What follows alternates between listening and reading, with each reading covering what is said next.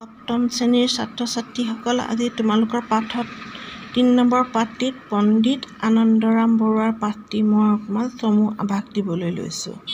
এতিয়া এই পাঠটোত থকা ফটো এখন দেখিছা নহয় তোমালোকে? এই ফটোখন কাৰ ফটো? পণ্ডিত আনন্দৰাম বৰুৱাৰ ফটো। এই আনন্দৰাম বৰুৱাৰ বিষয়ে এই পাঠটিত আমি কিছু কথা পঢ়িবলৈ পাম এতিয়া। তোমালোকে চাই যাবা মই অলপ চমুকৈ কৈ যাম। পৃথিৱীত এনে কিছুমান লোক আছে যিসকলে নিজৰ প্ৰতিভা আৰু পাণ্ডিত্যৰ বাবে চিৰস্মৰণীয় হৈ আছে। অসম মাতৃৰ সুযোগ্য সন্তানসকলৰ ভিতৰত আনন্দৰাম বৰুৱা আছিল তেনে এগৰাকী ব্যক্তি। তেখেত সংস্কৃত সাহিত্যৰ বিদগ্ধ পণ্ডিত আছিলে। সংস্কৃত চৰ্চাৰ জৰিয়তে অতি চুটি জীৱনকালত তেখেতে বিশ্ব সাহিত্যলৈ বিশেষ বৰঙণি আগবঢ়াই থৈ গৈছে। এই পাঠটোত আমি তেখেতৰ পাণ্ডিত্যৰ চমু আভাস পাম। এতিয়া আনন্দৰাম বৰুৱাৰ বিষয়ে প্ৰথমতে এইখিনি কথা আমি জানিব পাৰিলোঁ যে আনন্দৰাম বৰুৱা অসমৰ এজন বিদগ্ধ পণ্ডিত আছিল। তেখেতে কেনেদৰে অসমৰ সাহিত্য জগতখনক আগবঢ়াই লৈ গ'ল আৰু তেখেত কেনেধৰণৰ ব্যক্তি আছিলে তেখেতৰ শিক্ষাগত অৰ্হতা কিমান আছিলে সেইখিনি কথা আমি এতিয়া পাঠটিত পাম।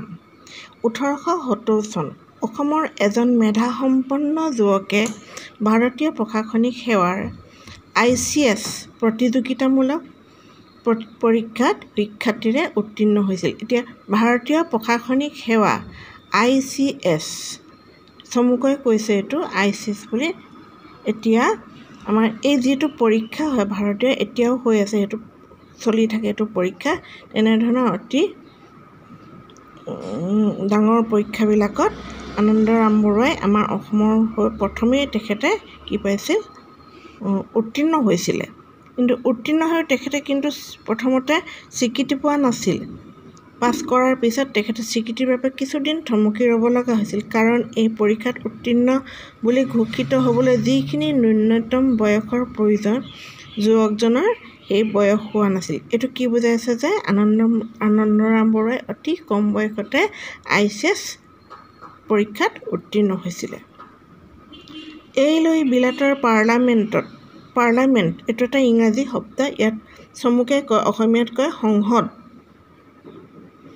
এই বিলাতৰ সংসদত এটা তুমুল বিতৰ্কৰ সৃষ্টি হৈছিল। তেতিয়াৰ ব্ৰিটিছ পাৰ্লামেণ্টৰ সন্মানীয় এগৰাকী সদস্য মিষ্টাৰ গ্ৰেণ্ট ডাফে পাৰ্লামেণ্টক পতিয়ন নিয়াবলৈ চেষ্টা কৰি যুক্তি দৰ্শাইছিল আমি এই সিদ্ধান্তত উপনীত হওঁতে আই চি এছ পৰীক্ষাৰ নিয়মাৱলীৰ ভিতৰুৱা উদ্দেশ্যলৈহে কাণ দিছোঁ যিজন ছাত্ৰই সুদূৰ ব্ৰহ্মপুত্ৰ উপত্যকাৰ পৰা আহি ইমান প্ৰতিযোগীৰ মাজতো সুখ্যাতিৰে এই পৰীক্ষাত উত্তীৰ্ণ হ'ব পাৰিছে। তেখেতৰ আকাংক্ষাৰ বাটত আমি একো প্ৰতিবন্ধকতা জমাব জন্মাবৰ ইচ্ছা নকৰোঁ। এইদৰে মহামতি মিষ্টাৰ এইদৰে মহামতি মিষ্টাৰ গ্ৰেণ্ট ডাফেৰ মহানুভৱতাৰ ফলতেই এই বিতৰ্কৰ পৰা ৰক্ষা পোৱা মেধাৱী যুৱকজনেই হ'ল আনন্দৰাম বৰুৱা। ইয়াত যে কৈছে সুদূৰ ব্ৰহ্মপুত্ৰ উপত্যকাৰ পৰা আহিছে। সুদূৰ ব্ৰহ্মপুত্ৰ উপত্যকা মানে আমাৰ অসমখনেই হয়। ব্ৰহ্মপুত্ৰ উপত্যকা যিহেতু ব্ৰহ্মপুত্ৰ নৈখন অসমৰ মাজেদি বৈ গৈছে। গতিকে এই আমাৰ ৰাজ্যখনক ব্ৰহ্মপুত্ৰ উপত্যকা অঞ্চল বুলি আমি কওঁ। এতিয়া এই আনন্দৰাম বৰ প্ৰথমতে আমি এইখিনি কথাই জানিব পাৰিলোঁ। তেখেতে কেনেধৰণে বিলাতত গৈ ইমান কৃতিত্ব সহকাৰে সকলোৰে আগত আমাৰ অসমৰ মানুহৰ হৈ পেলানি তেওঁ গৌৰৱ অৰ্জন কৰিছিল। চেষ্টাৰ অসাধ্য একো নাই বুলি এষাৰ কথা আছে। আনন্দৰাম বৰুৱাৰ ক্ষেত্ৰত এই কথাষাৰ আখৰে আখৰে ফলিয়াইছিল তেখেতে আই চি এছ পৰীক্ষাত সপ্তম স্থান লাভ কৰিবলৈ সক্ষম হৈছিল। কঠোৰ অধ্যৱসায় আৰু দৃঢ় মনোবলৰ বাবেই তেখেতে এই কঠিন লক্ষ্যত উপনীত হ'ব পাৰিছিল। তেখেতৰ পিতৃৰ নাম আছিল গৰ্গৰাম বৰুৱা আৰু মাতৃ দুৰ্লভেশ্বৰী বৰুৱা। মাক দেউতাকৰ তৃতীয় সন্তান আনন্দৰাম বৰুৱাৰ ইংৰাজী ওঠৰশ পঞ্চাছ চনৰ মে' মাহৰ একৈছ তাৰিখে উত্তৰ গুৱাহাটীৰ ৰজা দুৱাৰত জন্ম হৈছিল। পণ্ডিতপ্ৰৱৰ চিভিলিয়ান আনন্দৰাম বৰুৱাই কামৰূপৰ উত্তৰ গুৱাহাটীৰ মজিন্দদাৰ বৰুৱা বংশৰ লগতে অসমৰ নাম উজ্জ্বল কৰি থৈ গৈছে। এই পেৰেগ্ৰাফটোত তেখেতৰ পৰিচয়খিনি দাঙি ধৰিছে। দেউতাকৰ নাম আছিল গৰ্গৰাম বৰুৱা মাকৰ নাম আছিল দুৰ্লভেশ্বৰী বৰুৱা আৰু মাক দেউ মাক দেউতাকৰ তেওঁ আছিল তৃতীয় সন্তান।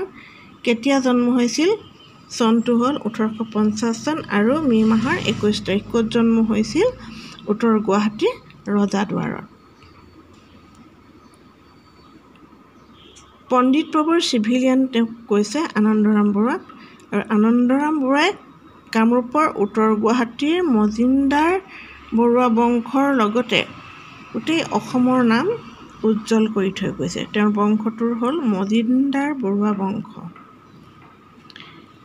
অসমত সেই সময়ত কলেজ নথকাত আনন্দৰাম বৰুৱাই প্ৰৱেশিকা পৰীক্ষাত উত্তীৰ্ণ হৈ কলকাতাৰ প্ৰেচিডেঞ্চি কলেজত নামভৰ্তি কৰে। সেই কলেজৰ পৰাই তেখেতে এফ এ পৰীক্ষাত শিক্ষাৰ্থীৰে উত্তীৰ্ণ হৈ গণিতত সৰ্বোচ্চ নম্বৰসহ ডাফ স্কলাৰশ্বিপ পায়। সপ্তম শ্ৰেণীৰ ছাত্ৰ ছাত্ৰীসকল সেইদিনাখন তোমালোকৰ আনন্দৰাম বৰুৱা পাঠটো কিছু মই আধা পঢ়োৱা কৰি থলোঁ আৰু আজি তোমালোকক বাকী থকা অংশখিনি মই অকণমান পঢ়ুৱাবলৈ লৈছোঁ।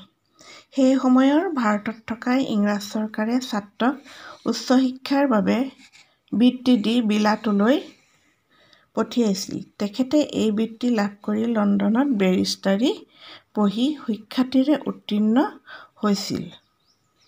স্বদেশলৈ উভতি আহি তেখেতে পোনপ্ৰথমে শিৱসাগৰ জিলাত সহকাৰী মেজিষ্ট্ৰেট হিচাপে যোগদান কৰে।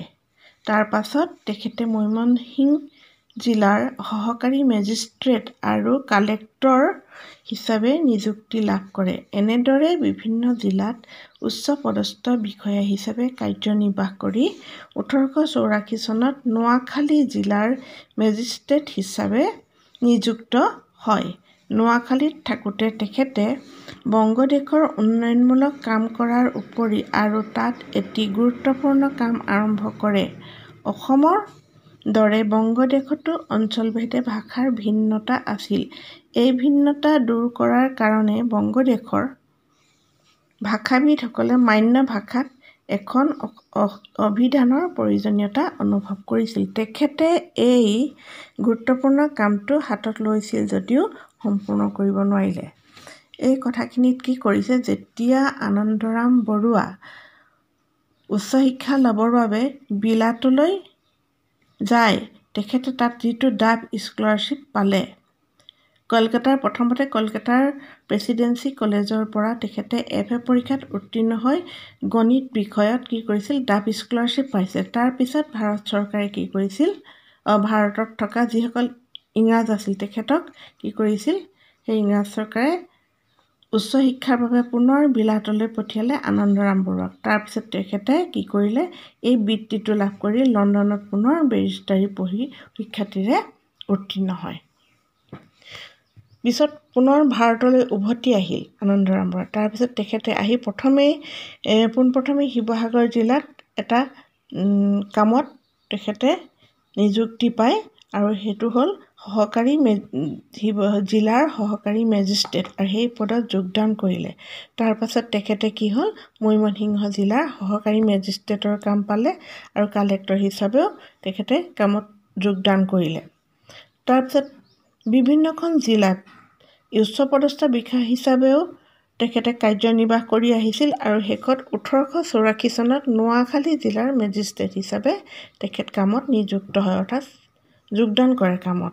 নোৱাখালীত যেতিয়া থাকে আনন্দৰাম বৰুৱা তেখেতে তেতিয়া বংগদেশৰ এতিয়া যিখন পশ্চিমবংগ বুলি কয় তেতিয়া সেই সময়ত আছিল বংগদেশ।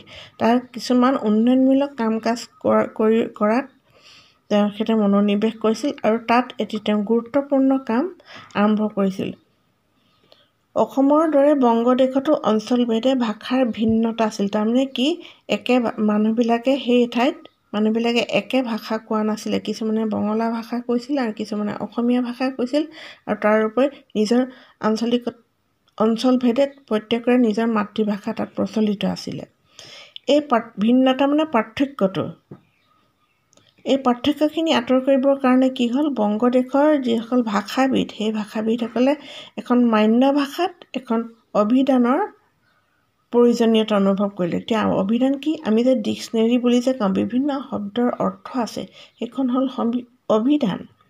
সেই অভিধানখন সেই সময়ত যে সকলোৰে প্ৰয়োজনীয় অসমীয়া ভাষাটো এখন অভিধান লাগে সেইখিনি তেওঁলোকে কি কৰিলে? অভাৱ অনুভৱ কৰিলে।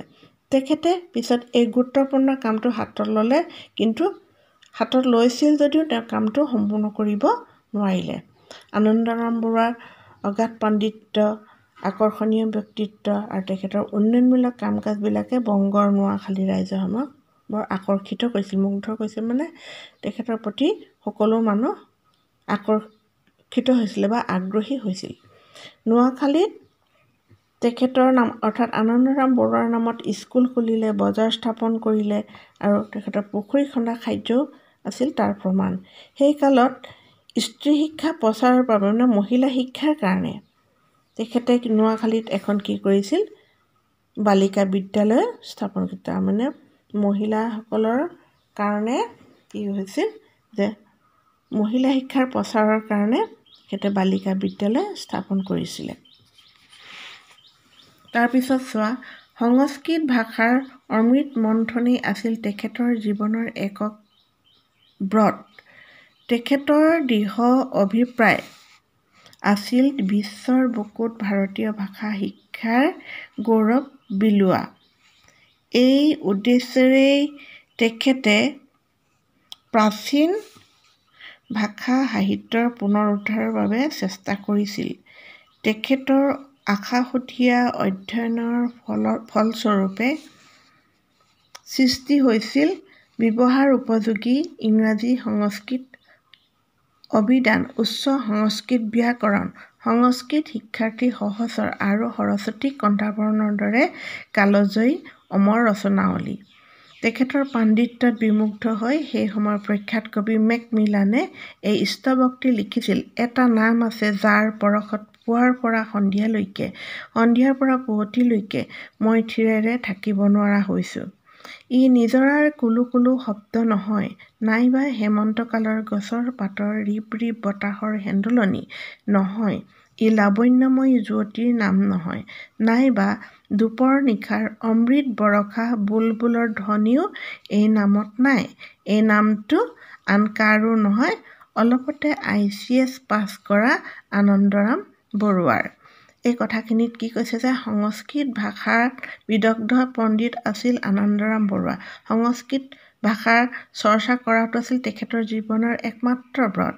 তেখেতৰ উচ্চ অভিপ্ৰায় কি আছিলে যে গোটেই বিশ্বৰ বুকুত আমাৰ ভাৰতীয় ভাষা শিক্ষাৰ প্ৰচাৰ চলোৱাটো যাতে সকলোৱে তাত এটা উচ্চ পদবী লাভ কৰিব পাৰে।